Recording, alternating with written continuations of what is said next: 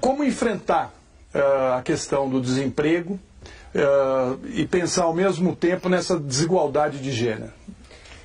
Então, primeiro é um prazer conversar com vocês, sobretudo começar o programa com um debate que talvez seja o principal debate que nós temos que travar durante esse processo eleitoral. A desigualdade brasileira, ela é sempre foi, ela historicamente é regional, mas ela também é estruturada a partir da questão de gênero e de raça, ou seja, não é igual ser uma mulher, não é igual ser um negro ou uma negra diante de um Brasil que empobrece com as medidas de austeridade fiscal que foram adotadas por Temer e que são defendidas por um conjunto de candidatos, né? Não só por Temer, mas por todo o lado de lá.